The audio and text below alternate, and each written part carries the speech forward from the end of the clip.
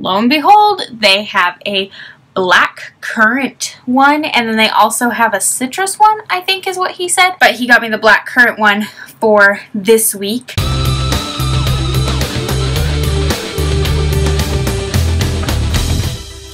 Hey guys, it's Jocelyn. I'm coming with a drink review finally. I'm really excited about this one. Kollin picked it out. It'll be a good one since I'm finally back and doing one by myself, which is totally weird because I don't even know what to do by myself anymore. Kollin may come in in just a minute because he just got off work, so he's on his way up here. And the cat will make some appearances.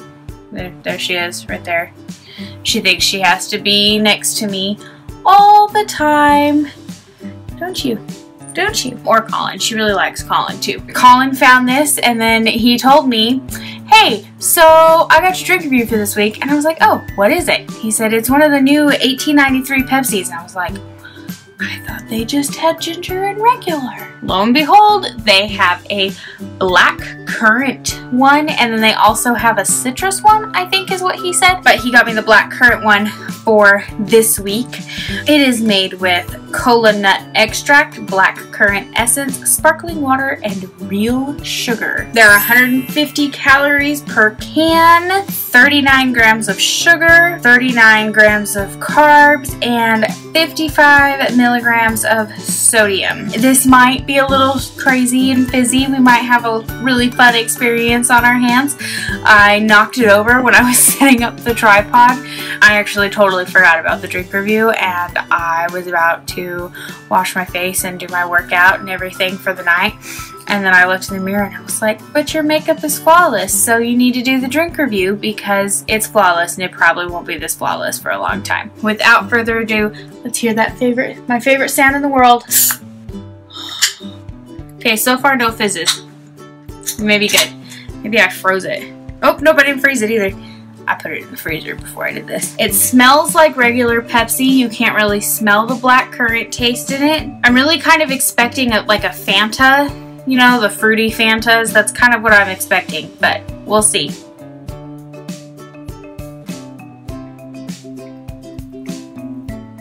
Um, I'm gonna try that one more time. I don't really taste any kind of black currant. It says premium cola infused with a bold berry finish. I don't taste any berry.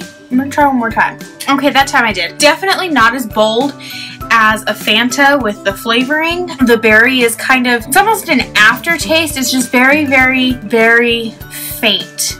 I like it. It's really good. I mean, it's very comparable to the other 1893 colas. It tastes the same and then there's like a little bit of blackberry.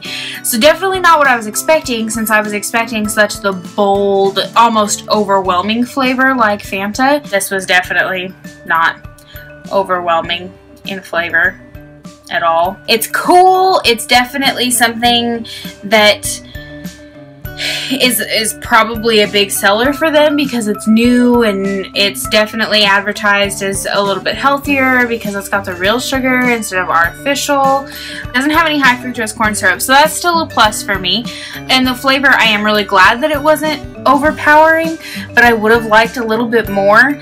So overall, I'm probably going to give this one a 7 out of 10. It's not a bad rating. I would buy it again. There's, but I mean, it's nothing special. I wouldn't necessarily choose it over my favorites. But anyway, so 7 out of 10 on the 1893 Black Currant Cola. It's a good Coke, just not necessarily what I expected. I don't know where Kollin is. He was supposed to be here by now. I don't even know what time it is. What time is it? 10.34. He got off at 10 o'clock. I don't know where he is. Might have gotten off late again. But it's fine. Me and the cat will just hang out. Oh, look at her. She's so cute right now. Oh my gosh. I just became one of those cat people on the internet. It's fine. Look at her. Oh, my baby. She was a rescue. My roommates and I in Portales found her when she was pregnant. Somebody had abandoned her and this was four years ago. She had a couple of litters after that and then when I moved here I couldn't leave without her. Now she's a fat spoiled house cat.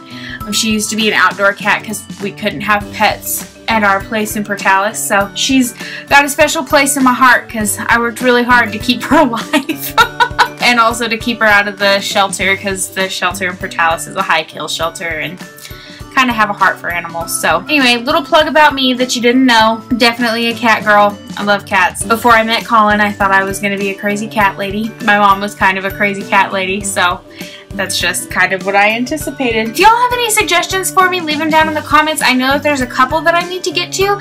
Right now, there's so many different things for me to do. I'm just kind of doing it. But leave me suggestions down below. I do have a list going from just about anywhere. I mean, Sonic, McDonald's, Starbucks, cans, energy drinks. I will do alcoholic, but that one, I mean, if there's something you really want me to try, I'll try it but I'm not going to go out and spend $30 on a drink kind of thing. Waters, juices, cokes, whatever. I will do it. So just leave them down below. And you guys, I still need a cool nickname for me. I don't have one. There were some suggestions, but there weren't very many. So I need suggestions. Kollin and I love y'all the mostest. And I will see y'all next week or in another food review. I don't know. We're doing a lot of things together lately pretty nice. Anyway, so I will see y'all later. I hope you have a wonderful Friday afternoon, and I will see y'all next week. Bye, guys!